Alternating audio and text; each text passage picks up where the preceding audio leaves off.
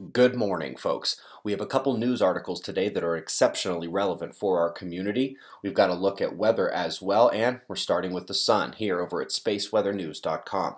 Taking a look at the last 24 hours on our star here in 193 angstroms, you do see how calm it was. No flashes, we had no solar flares, there are no sunspots, it is a blank disk. Let's come next to the solar wind. Up top, BZ in red, phi angle in blue, both shifting, and with that phi angle shift, slightly increased density. We are seeing the KP budge up slightly from the floor. We did have an interesting plasma penetration event detected by Karuna last night. The coronal holes on the north beginning to turn out. We do expect their solar wind to arrive here at Earth at some point tonight or tomorrow. You can see the next one already coming in top left.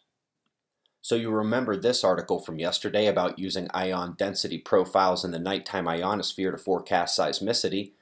Well, I quickly remembered that NASA is trying to do something like that, so I went searching on their IONO page and I found their natural hazard detection link.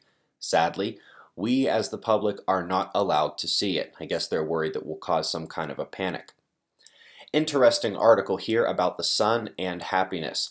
A pretty phenomenal study seems to indicate that sunspots are anti-correlated with happiness, aka when the sun is active, when there's lots of solar flares, CME, solar energetic particles, and geomagnetic storms, people aren't as happy.